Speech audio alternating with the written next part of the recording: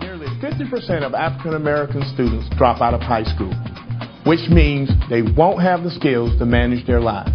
Ironically, the reason that most of these students drop out in the first place is because they're disorganized and can't manage the classroom materials. I have created a system to help them get organized and produce results.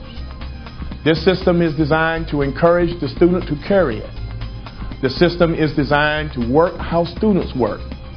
We give them a calendar that starts with Monday so that they can track their lives both personally and academically.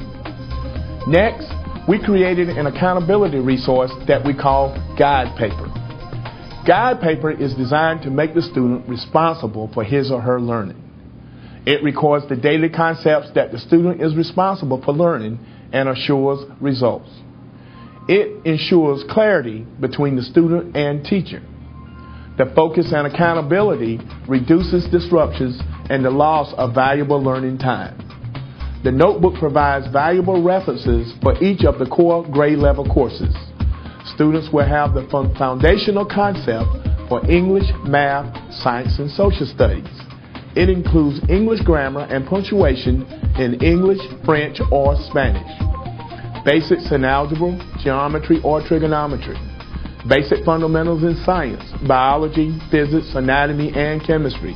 And basics in Western civilization, American history, civics, and U.S. and world math. Here's the key. You cannot manage what you do not measure.